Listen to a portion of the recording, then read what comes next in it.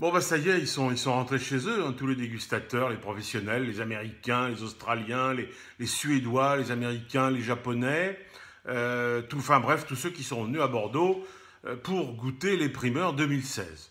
Personnellement, j'ai pas eu le temps d'y aller, mais d'après ce que j'ai lu dans les comptes rendus, c'était super. On a fait le millésime du siècle à Bordeaux. Comme chaque année, vous me direz, mais cette année, peut-être encore plus que les autres. C'est du top, c'est la crème de la crème. C'est un but de Griezmann des 25 mètres dans la lucarne après avoir éliminé les trois quarts de l'équipe adverse en dribblant. Non, c'est pour vous donner une comparaison que tout le monde peut comprendre.